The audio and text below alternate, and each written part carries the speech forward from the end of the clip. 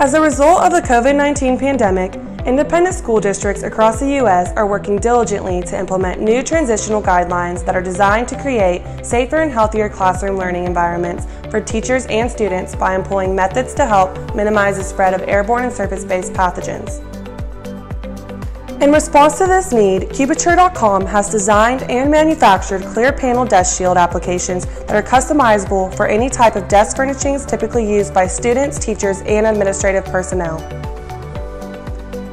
Here is a student in a kindergarten classroom seated and working at a standard 24 inch wide by 18 inch deep student desk. Cubiture's 24 inch wide by 24 inch high by 12 inch deep, 1 8 inch thick Unishield clear acrylic panel with polished edges provides a safe protective barrier between students to help minimize the spread of airborne germs, while also providing an unobstructed view and verbal communication among fellow classmates and the teacher. Here is a teacher seated and working at a standard 48 inch wide by 30 inch deep instructor's desk.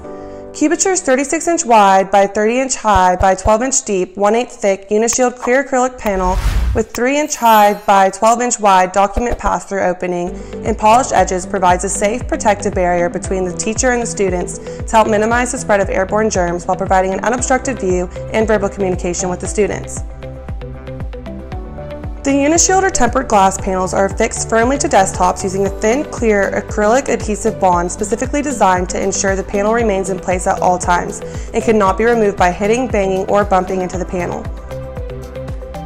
Our panels are available in two options, frameless quarter inch clear tempered glass panel with safe polish edges or Unishield 1 8 or quarter inch clear acrylic panel with safe polished edges. Both solutions can be used in either a permanent or temporary capacity and are simple to deploy, maintain, relocate, and store.